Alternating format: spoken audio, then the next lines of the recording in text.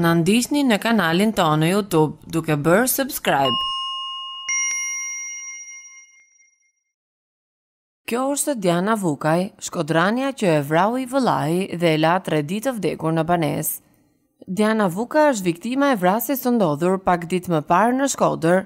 Autor i kësaj vrasjeje është i vëllai i saj, Fabian Vukaj, 55 vjeç, i cili e vrau pak ditë më parë dhe e la në banesën e saj të vdekur. Sot ajo do të mbushte pesëdhjetë e tetë vjeç. Arsyeja e vrasjes janë bërë një shumë parash me të cilat pesëdhjetë e tetë vjeçarja do të mobilonte shtëpinë e vëllait, por ky i fundit ia ka kërkuar lekët në dorë. Fabian Vukaj ishte i alkoolizuar dhe krimin e ka kryer në një gjendje të tillë mendore. Më parë ai kishte ushtruar dhunë ndaj motrës së tij dhe ajo e kishte denoncuar e megjithatë e ndihmonte me treqind euro çdo muaj. Burime për Top Channel bëjnë me dije se motra do të blinte mobilje me vlerë katër mijë euro, ndërsa i vëllai nuk ishte dakord dhe kjo i ka çuar të dy drejt një ngjarje të tillë. M'i jep mua lekët se i gjej unë, mësohet t'i ketë thënë autori ku aty ka nisur çdo gjë.